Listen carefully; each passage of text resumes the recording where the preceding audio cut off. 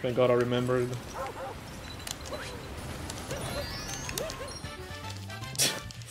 Almost forgot the moon. Didn't want to reset, dude. God damn it, man.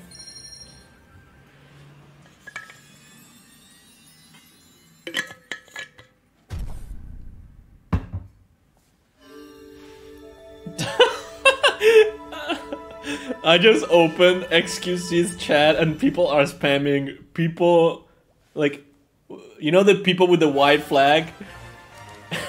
And then we surrender them okay?